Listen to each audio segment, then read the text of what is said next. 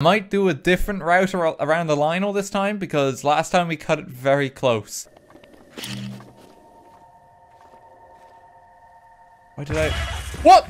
Oh, no, what happened? I'm okay. I'm okay. We can just make some spicy food again to survive. Oh, don't give me those.